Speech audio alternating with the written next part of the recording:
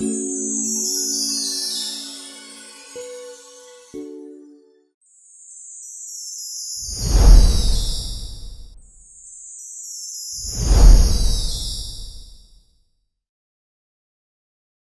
pokażemy Wam jak w domu samodzielnie przygotować sushi. Będziemy potrzebować oleju Golden Drop, wasabi, dobrego sosu sojowego oraz octu ryżowego. W sushi najważniejsze są dwie rzeczy: dobry ryż i świeża ryba. Ryż powinien być krótkoziarnisty, a najpopularniejsze ryby to łosoś i tuńczyk. Nori, czyli prasowane algi, świeży ogórek lub awokado, kremowy twarożek, marynowany imbir, proponujemy również rzeżuchę. Oprócz tego odrobina cukru i soli. Esencją sushi jest prawidłowo przygotowany ryż. Najpierw płuczemy go kilkakrotnie, bardzo dokładnie, używając do tego dobrej jakości wody. Ryż myjemy zawsze w zimnej wodzie, mieszając go dokładnie dłonią. Wodę wymieniamy kilkakrotnie, aż stanie się zupełnie przejrzysta. W przygotowaniu ryżu ważne są proporcje. Na jedną szklankę ryżu, potrzebną dla jednej osoby, wlewamy jedną i jedną czwartą szklanki wody. Oczywiście zimnej. Najpierw gotujemy na wysokim ogniu, co jakiś czas mieszając. Kiedy woda się zagotuje, przestajemy mieszać i przykrywamy pokrywką. Zmniejszamy ogień do minimum. Ryż jest gotowy, kiedy wchłonie wodę, którą do niego wlaliśmy. W miseczce mieszamy 4 łyżki octu ryżowego, 2 łyżki cukru, 1 łyżeczkę soli. Wlewamy tą mieszankę do ryżu, mieszamy i pozostawiamy do ostygnięcia. Przystępujemy do działania. Kroimy awokado lub ogórka w cienkie paski. Rwiemy sałatę na nieduże podłużne listki.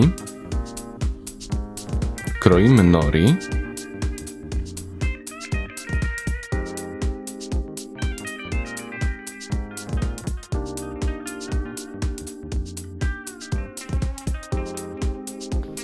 Odcinamy skórę z łososia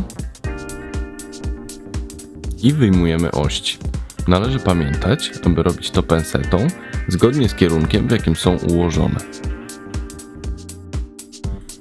Kolejnym krokiem jest pokrojenie ryby.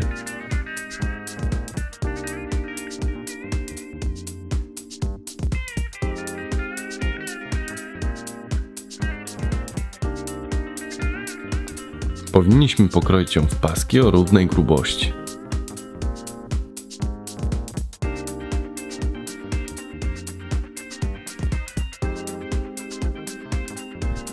Możemy już przygotować pierwszą, najprostszą odmianę sushi nigiri.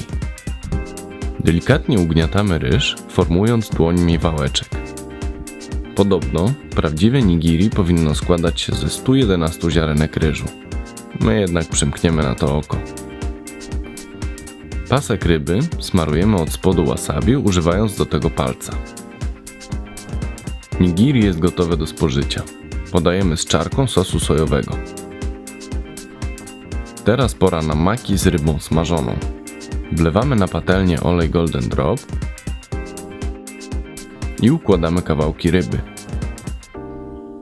Uwaga, żeby się nie przypaliła.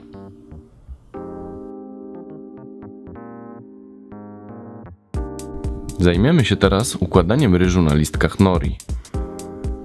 Ryż układamy cienko i powinniśmy zostawić 1 trzecią powierzchni bez ryżu, tak abyśmy byli w stanie zwinąć maki.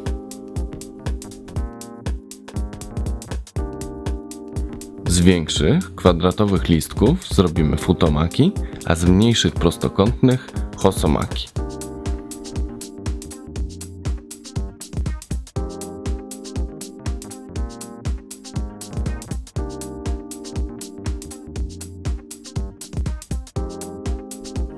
Na palec nakładamy wasabi i tworzymy z niego pasek przez środek listka.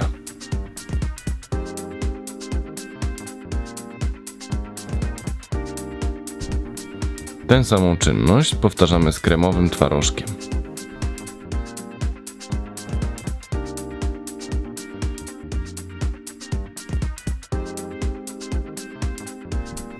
Układamy paski ogórka lub awokado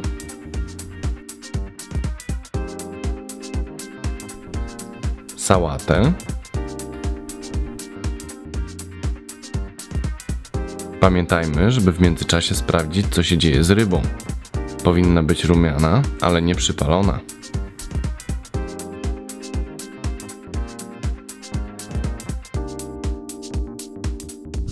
Do sushi możemy również użyć rzeżuchy lub wszystkiego, co nam się tak naprawdę podoba.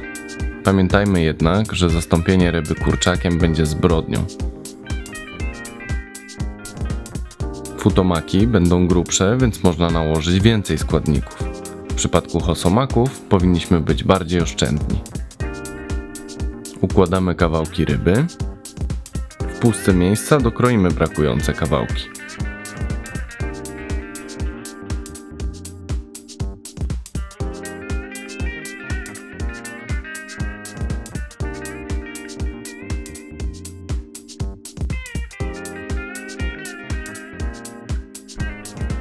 Przystępujemy do zwijania. Początkującym sugerujemy użycie specjalnej maty. Z biegiem czasu przestaje jednak być konieczna.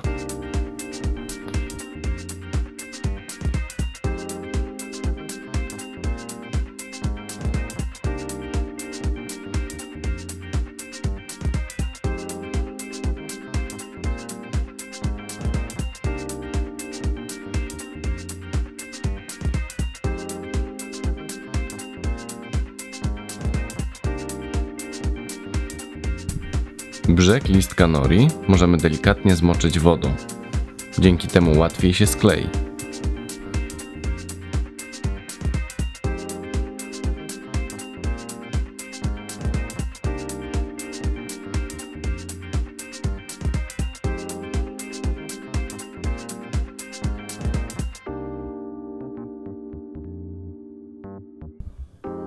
Sushi podajemy z marynowanym imbirem, wasabi i sosem sojowym w czarkach. W nich będziemy maczać poszczególne kawałki.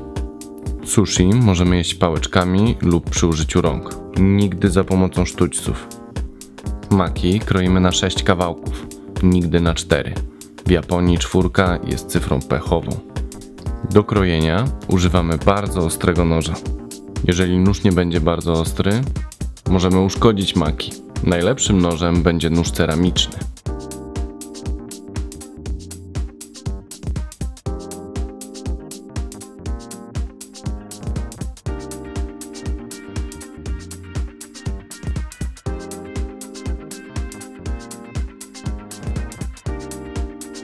Sushi smakuje przepysznie również z tuńczykiem, zarówno jako nigiri, na surowo i w towarzystwie wasabi, ryżu i sosu sojowego, jak również jako maki, z użyciem tuńczyka smażonego, zwiniętego w nori.